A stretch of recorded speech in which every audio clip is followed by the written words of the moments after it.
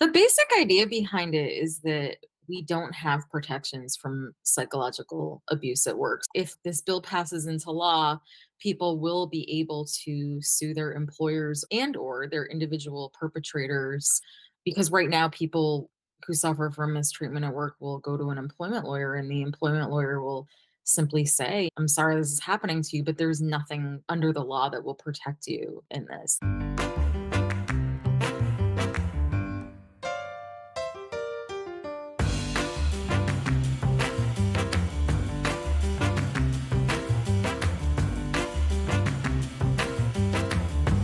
What's going on, Mel? Not much. I went to a fun little estate sale this past weekend and I got like a 1950s black leather clutch Ooh. that is awesome for $5. So, you know, win win. That was good. Oh, nice. I love a Love estate that kind of find, right? Yeah. Yeah. Especially all the vintage stuff. It was so well made. A lot of it. This thing is solid. I'm like, oh, I can throw out my Target bag. Yeah. This is not yeah. That thing's gonna So last good. you a lifetime, you know? truly just get a little conditioner on there. It's all good. It's all good. How about you? Well, Enzo got walkie-talkies. Yeah. This morning I was washing my face in my bathroom. He's in the living room, which is a couple rooms away. And all of a sudden I hear him having a conversation with somebody else who's not in the house. There's no one else in the oh. house. Oh, And so, yeah, learned that his walkie talkies can pick up other conversations and he can talk to people. So, we are now getting rid of said walkie talkies. That is freaky. I don't like that at all. you know, it's like some like trucker named Jim on his CB. He's like, what's this? Bored. Yeah. And those like, what? That's sus. Yeah. Anyway. So crazy. yeah. Oh God. Anyway. Walkie talkies are the best though. Well, we had a really rad conversation with two women that are doing some pretty powerful work. Absolutely. We met with Deb Falzoi and Vicky Courtemanche, who are two fearless women leading the End Workplace Abuse initiative across the US. And they are working to introduce the Workplace Psychological Safety Act in 20 states by 2025. And they recently presented this in Massachusetts and Rhode Island. They're still working to get them passed in those states. And they have moved on to several other states as well. So there's a lot in the works here. Ultimately, bottom line is they're looking to establish psychologically safe workplaces and getting this into legislation so that employees have rights to go after employers who don't establish psychologically safe workplaces. Yeah, I think the big thing here is that legal recourse if psychological abuse is happening. And we know this happens. We know things like bullying and mobbing and systemic sabotage happen all the time. And right now, for the most part, employees do not have legal recourse if that happens. No, they don't. They and I think you and I spoke about this, and I thought you brought up an excellent point, Francesca, where this is the new sexual harassment effort, right? Because as you mentioned, 20 years ago, someone could have said, You have a nice ass in the workplace. And if you complained, the rec- what would the response usually be? Oh, get a sense of humor. and that quickly went away with sexual harassment protections. This just takes our protections to the next level where you can no longer just abuse people in the workplace and get away with it. There's actual recourse here for the employee. And man, do they have a lot of great resources on their website for folks.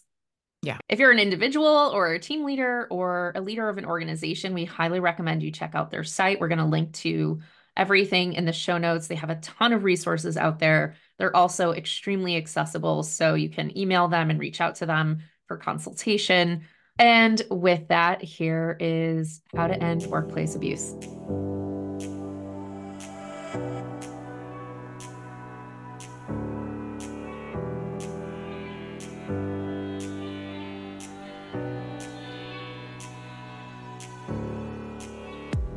Well, friends, we're super excited to uh, meet today with the co founders and representatives for End Workplace Abuse. Uh, and that's Deborah Falzoi and Vicky Courtemanche. Uh, Deborah started Dignity Together, uh, and she was really focused on helping workers who feel stuck in toxic work cultures and those who are healing from toxic cul- work cultures.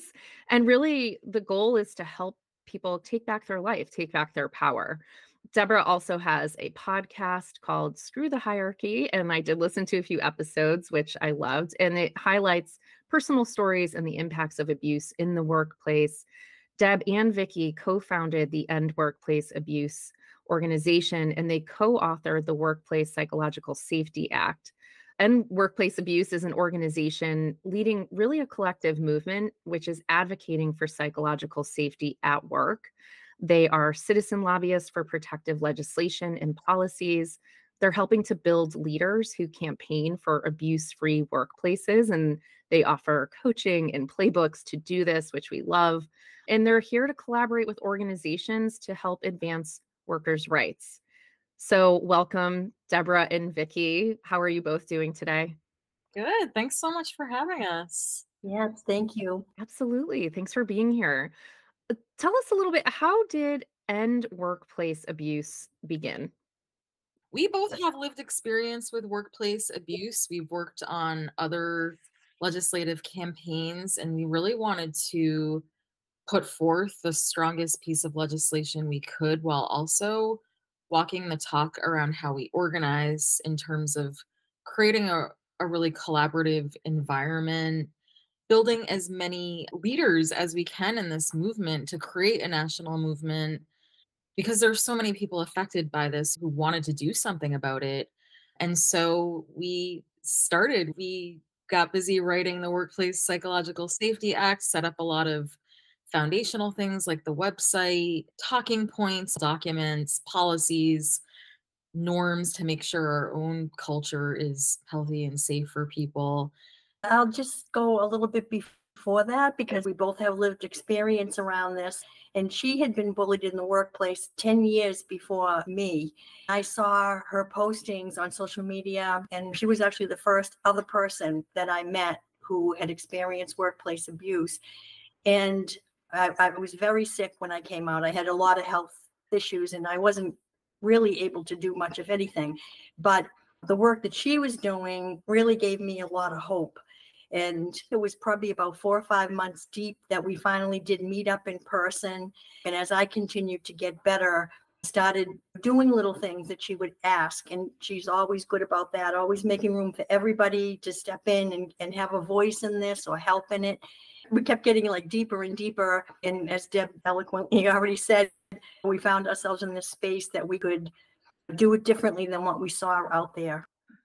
I love it. it. Starts with one step, right? Coming together and collaboratively is a really powerful story. Tell us more about the Workplace Psychological Safety Act. What is the I know there's a the bill is a lot of language, but what is the if you had to explain it to someone like they're 5, what does it encompass? The basic idea behind it is that we don't have protections from psychological abuse at work. So it, at a baseline it gives people legal recourse for what we call a, a, toxic work environment that a reasonable person would deem toxic. Um, right now, the major source of protections that people have are anti discrimination law.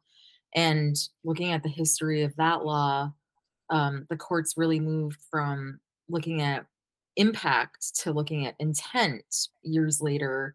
And it really watered down the strength of that law so that if if you are be, feel like you're uh, the subject of racist or sexist, ageist, ableist, any type of behavior that's protected under that law, then you still have to prove the intent of the perpetrator. And that sets a really high bar. In looking at the way mistreatment works at work, we wanted to focus on the behaviors that happen and in enough of a baseline rather than looking at you know someone's having a bad day at the office if enough of a baseline to deem it a toxic work environment by a reasonable person and that would actually give more protections for everyone but especially for women and people of color who are disproportionately harmed by mistreatment at work. If this law passes or this bill passes into law people will be able to sue their employers and or their individual perpetrators because right now people who suffer from mistreatment at work will go to an employment lawyer and the employment lawyer will simply say, I'm sorry this is happening to you, but there's nothing under the law that will protect you in this. There's nothing to sue against. So we want to put that in place because it is such a, a prevalent tool that employers use against employees for often for speaking up about this behavior and that's a huge piece that Vicky brought into it is it's not just this workplace bullying phenomenon it's that the employers at, at their level are ignoring these situations or retaliating against people because they want to avoid liability so that's this and that's really the level where a lot of people feel betrayed by we really focused honed in on that aspect of it because there's nobody holding the employers accountable for holding the bullies accountable. That's a major piece of the playbook that we thought was missing from not just other pieces of legislation, but from the messaging that really resonates with people to build this movement. We do have anti discrimination. And then there's this act as well. Can you give an example of where the laws that are in place now aren't cutting it for people that are bullying. For example, if someone's getting bullied by their manager, is that not covered by anti discrimination right now? It isn't unless the person can prove that the reason for their mistreatment is because they're a member of a protected class, because they're of a certain race or because they're a woman or you know that sort of thing the best example i can really give is if a bully is bullying everyone equally then and everyone's suffering from harm then there's really. Distinguished about even somebody in a protected class about the way that they're being mistreated i've heard people say if you're like an equal opportunity jerk like know, there's no legal mm-hmm. recourse for that because the target's not being singled out because of their membership in a protected class. So yeah.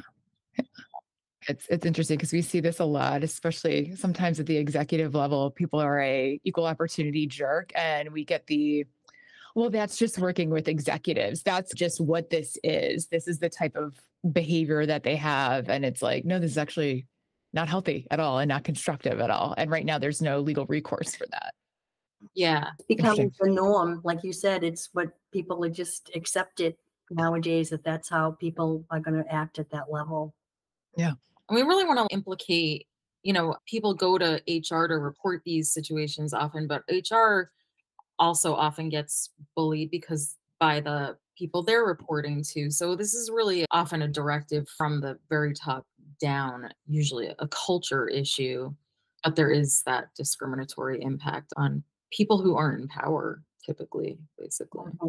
i'd just like to add to we were very intentional when we used the terminology psychological safety because we were trying to go at it a different way because passing the law is still not even our greatest obstacle raising public awareness is still our greatest obstacle. So when you say workplace bullying, no one knows what you mean by that. They don't know what you really mean by that. They conjure up whatever they want in their mind from their own experience, but they don't understand really that it's a process of dehumanization and it's a process of traumatization. So we were very intentional because we, as I said, we have that two, the two bars. We're trying to pass law, but we're also trying to raise public awareness, and that still is almost in the forefront.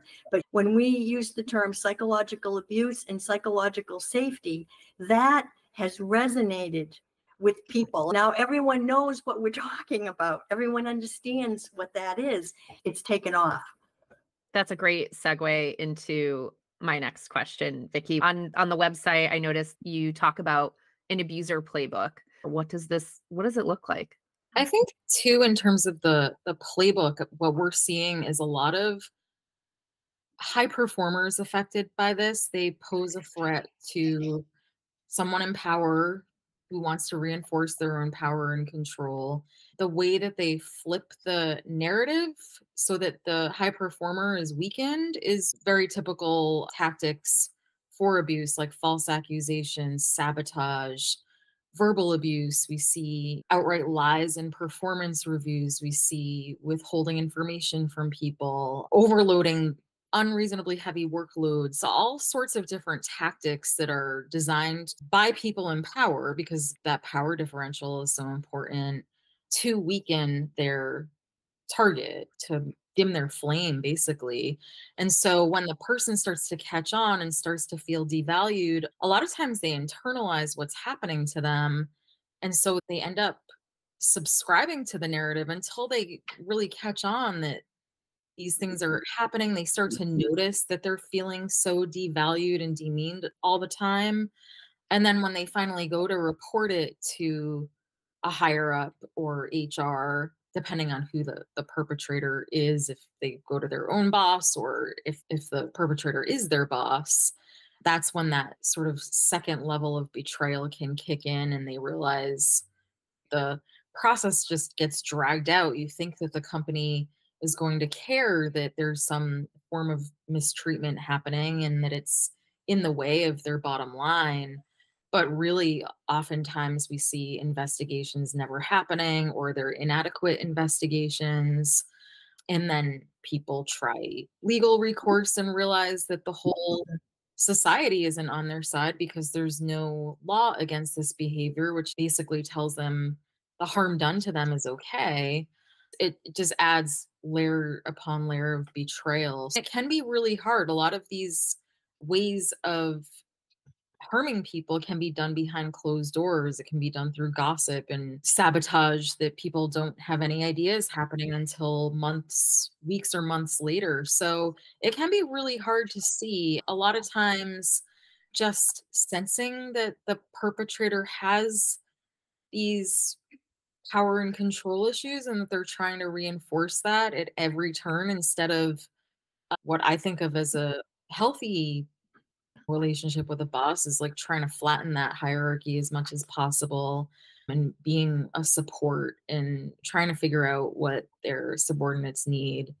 Um, there is that heavy layer of power and control with this. So I think when people start to see that for what it is and realize, I, I know in my situation, when I saw that happening, my response was internalizing it and thinking, well, I have to try harder then. And that really was the opposite of what going to help me because that threatened the the bully more, the abuse ramped up. And had I been able to catch it more quickly, I think I would have been able to detach from it more easily and just say, okay, may have still gone to HR, may have still gone to you know, the head dean at the school, at the university. I think that education piece is huge because the more we can let people know the typical mm. response, and there are some employers who are doing the right thing, but the typical response is avoiding liability, that education piece is huge as to what is likely to happen given the power structures and the system that the people in power have designed to maintain their own power.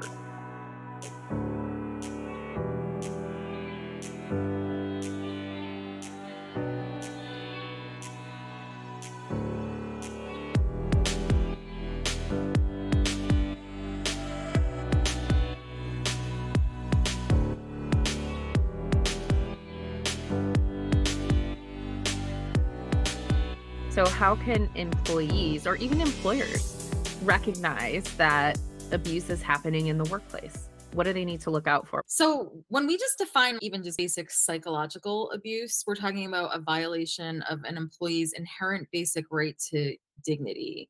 Mm. So, this is severe or pervasive infliction of toxic or unethical words and or actions, whether they're intentional or unintentional, direct or indirect. These can also be omissions, they're directed in terms of creating the toxic work environment. Bullying, we call it employee to employee interpersonal abuse. As Deb said, that was a big part of what we went after in the playbook and in the legislation was holding the employer accountable. And we use the word mobbing. And what we mean by that is organizational bullying. So it's more the employer, its representative employees to the employee. I've since learned, thanks to Jen Fraser, who wrote The Bully Brain, another word, and, we, and I use it more often now, and it's institutional complicity. Um, That's good. It, it, now that is clearer than mobbing. So we're learning as we go and I'm trying to use that terminology. And then we see sabotage as a type of bullying. There's all sorts of different ways to even define bullying, but also to categorize types of bullying. But sabotage, we've bucketed into things that are it, types of exclusion. So things like excluded from meetings and conversations that you should be involved with. This could be timely access to resources, information that you need to do your job, assignment of work. We've seen situations where people are not given information that they need to do work they've been assigned to, and then they get reprimanded for not completing the work. So they're basically being set up to fail. Unfairness falls into this. We talk about gaslighting, which is where the narrative gets twisted so you believe you're made to be the problem. We've also, I'll call this crazy making too, where this can be uh, micromanaging and inconsistent complying with rules. It could be a demotion or threatening of job loss without any cause. Inaccurate performance reviews, that's a big one, especially when new management comes in and they want to hire their own people. They'll just put, start a paper trail, but it won't be accurate in order to push out the employee. It could be discounting work, taking credit for work, blocking requests for needed training or leave, increasing responsibilities without giving authority to complete the responsibilities, removing responsibilities with no explanation, unreasonably heavy workloads, underwork consistently to the point where somebody feels useless so they're not doing what they were promised would be they would be doing in that role. Unrealistic deadlines. We've heard a lot of stories about people um essentially like being set up to fail where they're mm-hmm. being given these ridiculously unrealistic deadlines that they can't meet um favoritism is involved with this where a lot of people have this separate set of rules because they're not in the in, in crowd. Vague reviews, accusations without any backup. We've heard of people having their equipment tampered with, their personal belongings tampered with, and then the last part of this is lack of clarity. So there it can be really vague directions, deception around like work expectations, deadlines, reprimands without any ways to improve again, this isn't a bad day at the office. This is like the norm of how mm-hmm. expectations are set and sort of thing. Like Vicky said too, when it comes to the bullying and the mobbing, the a lot of people talk about mobbing as like group bullying essentially. And that mm-hmm. can be part of the playbook too, where it starts with one-on-one person in power person a lesser role and then that person in power creates this false narrative behind the scenes and gets other people to join into that false narrative and if they have the power then a lot of times people side with that power out of fear of losing their own job and then gradually too this the target can just feel so isolated. Have no idea what's going on behind the scenes but they're characterized in a way that they have no idea about and it's completely opposite of mm. how they believe that they're performing or at least were performing and then that's when that mobbing piece as we're defining it with the institutional complicity it often escalates to that because people feel trapped they have no idea what to do where to go who will help them and so when HR's training on anti discrimination law mm, and encouraging reports of mistreatment, they believe that going to HR will be the solution. But oftentimes, HR will just be looking to see if there's any sort of valid complaint, if there's a legal liability, and they'll do some sort of risk assessment and decide should we just push this person out and avoid the liability? How much of a risk does this person pose? Which is one of the reasons why you need a law like this, right? Because H- HR is going to go to the law. They're going to go to A, what is legal? And then what's the liability for the organization, which is why you need this as a law, because if it's not, it's very gray. It can be very gray for HR. I have a question though about the mobbing piece, which is does it have to be, or even the bullying, or even the sabotage? Does it have to be somebody in power? Because I've seen this peer to peer. I've seen this as a as team members doing it to their leader. It can be lateral bullying and it can be upward bullying too. I think the most common is that downward mm-hmm. bullying, but it can happen from any directions. I've heard of situations in all of those ways. And to your point earlier too, I was going to say, we have heard HR people say we need a tool, a law to be mm-hmm. able to hold these bullies accountable. So I think it will benefit HR to have this mm. tool to actually do something about the bullying. Mm. So. Their profession has really been called out this phenomenon because the statistics say that at least 71% of our businesses don't do the right thing when this happens. So there's a lot of people out there who are either uncomfortable doing what they're told to do, or there's lots of people out there who have left HR because they won't do that. It's sad because they're the flying monkeys of this. They're the ones who come out and make it happen.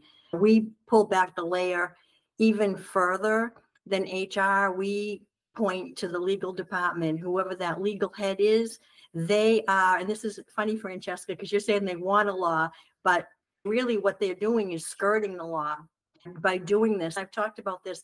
Even if this law is passed, it's going to be like whack a mole with them like they're going to pop up and try to do something else because that's the way the legal departments function these days is that they try to skirt the law and not uphold it when i first read this my immediate thought was the way that we operationalize culture and operationalize HR will need to fundamentally shift. There's so much culture change that will need to happen in organizations for organizations to be healthy enough for not having this happen. And I think back to like when anti sexual harassment rolled out.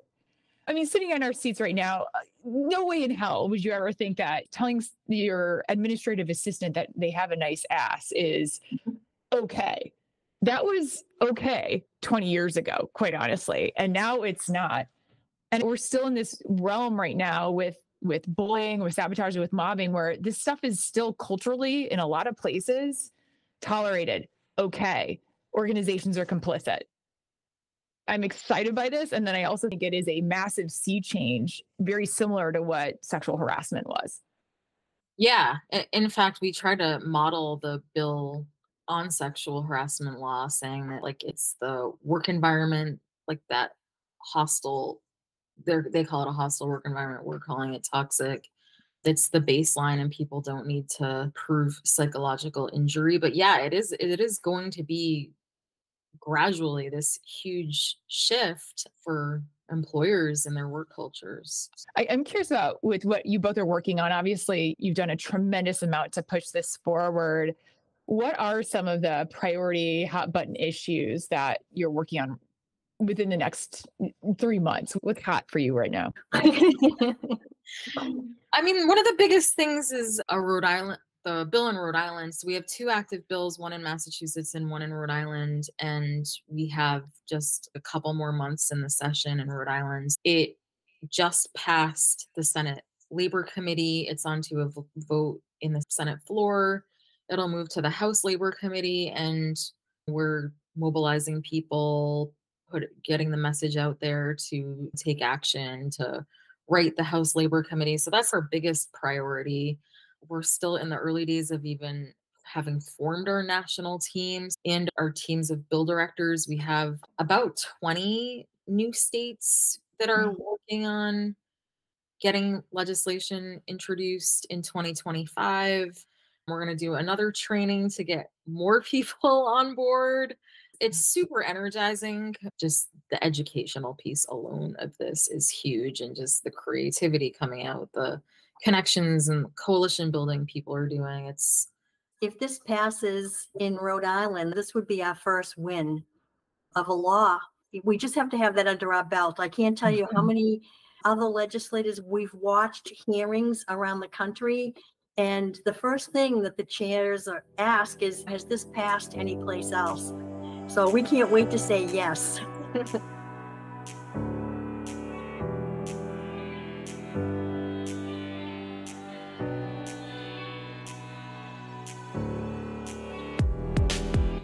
I, want to ask not if, but when this gets passed in Rhode Island and when momentum picks up, what will employees be able to do? The big thing is to sue their employer for mis- mistreatment that meets that baseline standard. Right now, they don't have the ability to do that. It's not going to be this wave of the magic wand. Like we've seen, obviously, sexual harassment is still really prevalent despite there mm-hmm. being a law against it. But the other piece is this is really about prevention. So the bill actually has a lot of language around what the employer can do to minimize their own liability from training and having a policy, which we know doesn't work in and of itself, but that as a start in terms of trying to prevent this behavior to having thorough investigations and then when they do find that the there was bullying happening coaching counseling discipline we want there to be an adequate addressing of this issue from start to finish, from educating and monitoring the work environment to actually holding bullies accountable. You talk a lot about what organizations can do in terms of prevention, but what can team leaders mm. do today? What can just teammates do today to help with that prevention in the workplace or be advocates for others if they're not the victim of it but see it happening what can they be doing it's a really tough situation for bystanders to be in because pretty much stuck between siding with the abuser and siding with the target. And if that abuser is their boss, then putting themselves in a situation to have to to be the next target basically. We encourage people to speak out, but we know that there's risk, a lot of risk in doing that. So I think even just telling the target even private i saw this happen to you i like to validate it for them and acknowledge that they were harmed and that they're a human being and harm wasn't okay to just be there for that person i think can go a long way. I think that team leaders can also do what they can to flatten the hierarchy to show support as much as they can to treat their subordinates eh, level the playing field and be collaborative and set goals, help people understand the, the vision and mission and the goals of their unit. Even if there's a lot of toxic behavior coming down from the top, the it's a tough position for a manager to be in dealing with that and trying to change the culture of their own department. But I think that's the power that they have how do you treat people as workers as though they're adults and that they can control their jobs and that they have social support and i think everything that we're supporting including the workplace psychological safety act just all goes back to that and that if managers treat their mm-hmm. subordinates like people then not only will they be healthier but their bottom lines will actually increase. I think the bottom line is that just bringing the like humanity back to the workplace or to the workplace in the first place. This has been just really wonderful and appreciate all of the the tips and insights. I just want to say thank you for this space because this is raising public awareness. So every time that this gets put out there on a podcast or someone reposts the social media or or wants to submit written testimony it all counts. One of the biggest parts of this work is that we're giving people hope who are otherwise feeling so trapped in what they're experiencing. It's important for people to know there is hope out there. We're both living proof that there is happiness on the other side of all of this and with support and taking their own voices back, they can get there too. And collectively, no matter what happens, if we're speaking out together, then we're taking a stand for ourselves. And I think that's huge. Love it. Well, thank you both so much uh, for being here with us today. Appreciate you. Thank you. Thanks so much for joining us today. Subscribe wherever you listen to podcasts. You can come over and say hi to us on the TikToks and LinkedIn community. Hit us up at yourworkfriends.com. We're always posting stuff on there. And if you found this episode helpful, share with your work friends. Thanks, Bye, friend. friend.